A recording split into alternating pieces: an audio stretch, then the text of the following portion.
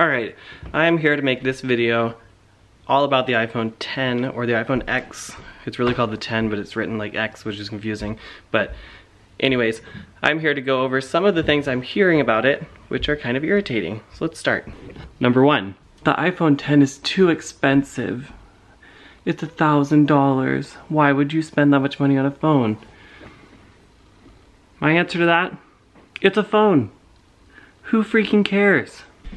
Samsung has had an OLED screen since 2014. The iPhone 10 is so three years ago. What's my answer to that one? It's a phone, who freaking cares? Samsung had facial recognition on their phone in 2015. It's a phone, who freaking cares? I'm gonna have to sell my kidney to afford the iPhone 10. It's a phone. Who freaking cares? iOS has features that Android has had for years. Why would you buy an iPhone 10? It's a phone. Who freaking cares?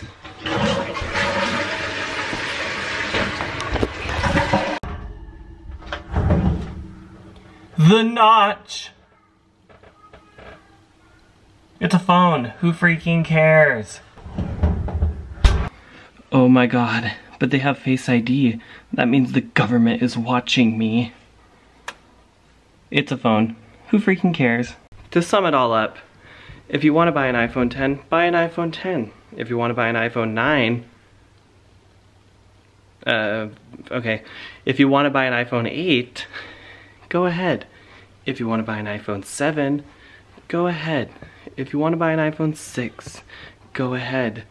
It is your choice because in the end, you're just gonna buy a Samsung anyways.